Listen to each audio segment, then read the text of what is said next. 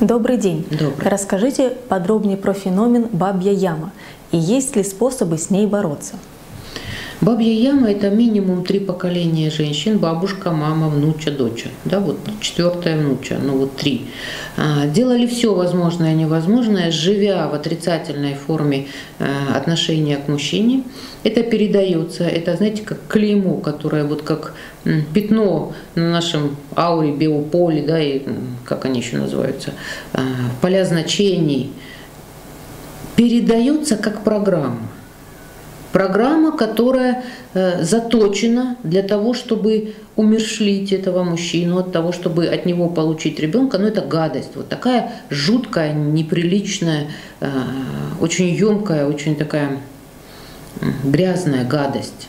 Это программа. Программа отрабатывается обычно три поколения. Вот бабушка, мама, дочь. На внуче есть возможность ее снять, изменив модель поведения. Входить вот в эту тройку это практически, ну, нужно быть или потрясающе сильным мужчиной и разбить там все, и забрать эту дочку или там маму, кого там забрать, и только перетрясти ее до такой степени, чтобы она пришла в себя. Но это мужчина, ну, очень должен быть сильный.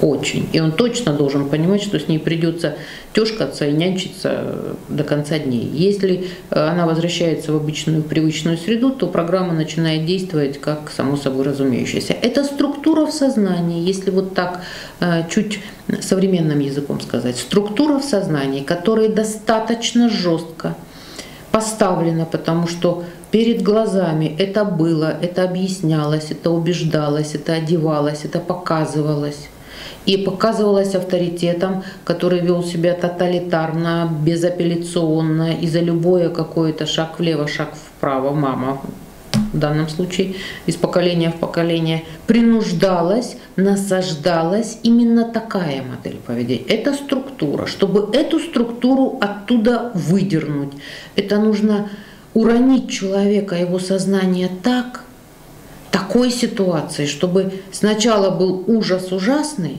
но подконтрольный, а потом только выстраивать новую структуру. Почему так тяжело меняться и учиться? Потому что структуры железобетонные. К 14-21 году человек уже настолько все это в себе упаковал. И любой шаг влево, шаг вправо, изменения приносит не только эмоционально-душевную боль, а приносит патологию страха. И с этим страхом мало кто готов справляться. Почему и переповтор идет э, семьи, как бабьи ямы, там и мужские такие же вещи есть точно так же. Это лучше так, потому что знаю как. И потом бесконечное самовнушение, убеждение, что это единственная форма. Входить туда можно, но нужно знать, что там потратит силы, ох как. И видеть, что у человека, там у одной из этих женщин – в принципе еще теплится душа, в принципе где-то она, пускай хоть иногда глаза э, от мутноты промывает и очень просит «спаси меня». Вот тогда можно. Но война будет идти очень достойно. Десять раз думайте. А четвертое поколение, если не сбежало, то тогда на ней обычно заканчивается этот род уже, потому что он бесперспективен.